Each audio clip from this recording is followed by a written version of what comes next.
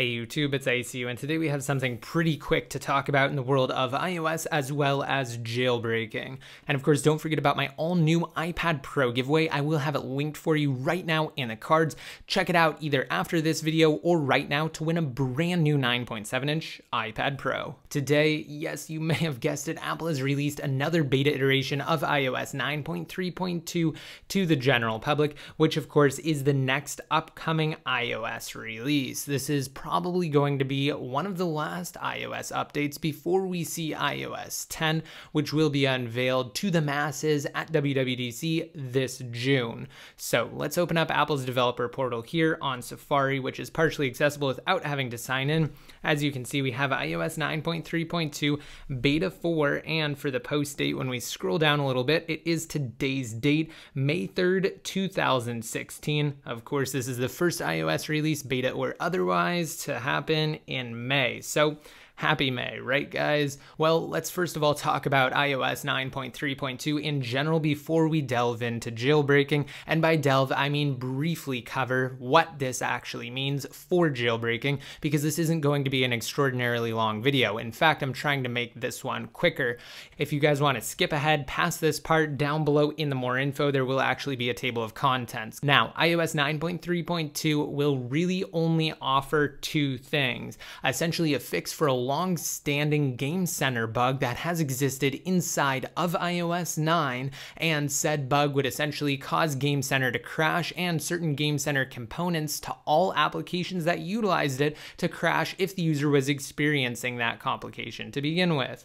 Now, it also allows individuals to toggle both night shift as well as low power mode simultaneously, which is pretty cool considering while night shift was introduced inside of iOS 9.3 for 64-bit based devices, Essentially, it couldn't be activated alongside low power mode. Now that's been remedied. Once iOS 9.3.2 is out to the public, you will be able to turn on both if you update to said firmware. Let's get into the jailbreaking aspect and talk about why iOS 9.3.2 will even be issued in the first place.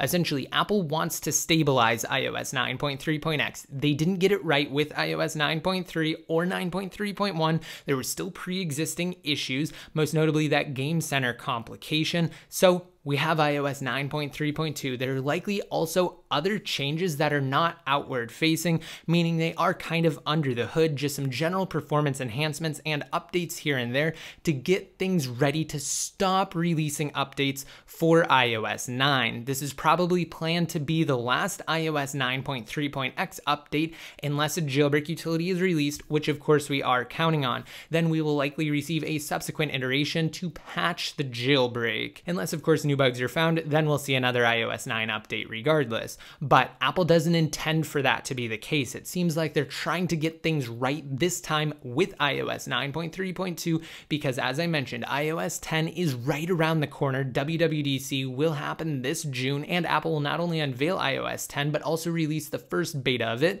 And of course, they probably have the majority of their iOS development team and software engineering focused on said iOS 10 beta right now. So iOS 9 development development will start to taper off. It's natural, it happens every single year. The same thing happened last year with iOS 8.4.x. The only reason we got 8.4.1 really was to patch the TaiG jailbreak. So we could expect something very similar to happen this year. Of course, jailbreak developers seem to be waiting on that stabilized version of iOS 9.3.x being 9.3.2, which will hopefully be released to the public soon. At this point, we had already expected 9.3.2 to drop, which means it really could happen at any point. In fact, it could happen as early as next week, which of course I'm rooting for. I hope you guys are too. Let me know in the cards. There will actually be a really quick poll if you want to partake in that. Now, that pretty much wraps up everything I wanted to discuss in today's video. Jailbreak developers as well as Apple are both trying to get things stabilized. Of course, the former of the two, being jailbreak developers, have to wait for the latter, being Apple, to issue that release before they can release another jailbreak. So if you want additional information on why stabilization is so important other than what I just mentioned, I will actually have a few links for you down below in the more info to some of my past videos, again, going into that exact topic. But this video pretty much sums it up. It's relatively quick and short and condensed, and if your friends are are at all confused about what's going on in the world of jailbreaking right now, just be sure to share this video and send it over to them. It'll almost certainly help. Of course, click the subscribe button below next to my channel name. That way you won't miss out anytime I release new videos because remember, things are always changing in the world of jailbreaking.